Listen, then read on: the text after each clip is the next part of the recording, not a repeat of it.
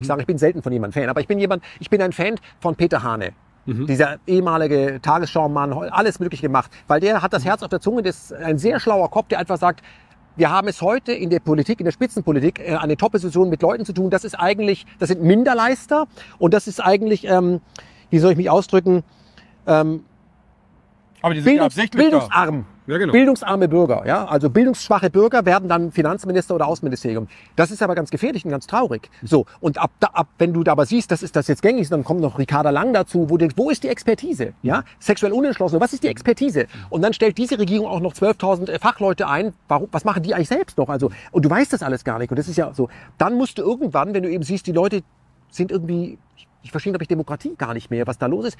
Und jeder denkt, ach, das, irgendjemand wird sich drum kümmern. Es kümmert sich aber gar keiner drum, ähm, weil jemand mal kurz im Halbsatz Russland den Krieg erklärt, kann ja mal passieren. So, oder soll sich um 360 Grad drehen, Herr Putin. Wo du denkst, das ist, da wird ja jeder Satiriker arbeitslos. Jetzt sitzen die Leute aber in einer Nation, die die viertstärkste Industrienation der Welt ist. Also noch, das wird sich ja jetzt alles ändern. Und da sage ich, du weißt aber schon, wenn du an so vielen Stellen Pfeifen hast, und zwar an allen Schaltstellen nur noch Pfeifen hast, hat es Konsequenzen. Dass es in der Politik an Stellen Pfeifen gibt, hat es immer gegeben. geben.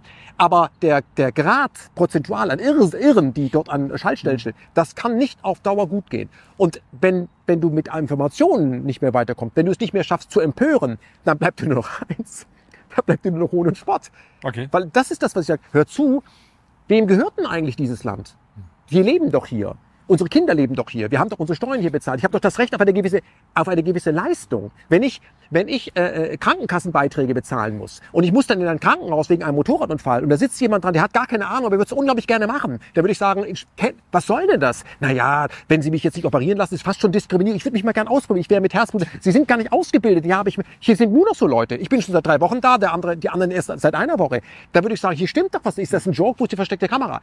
Das ist das, was wir heute haben.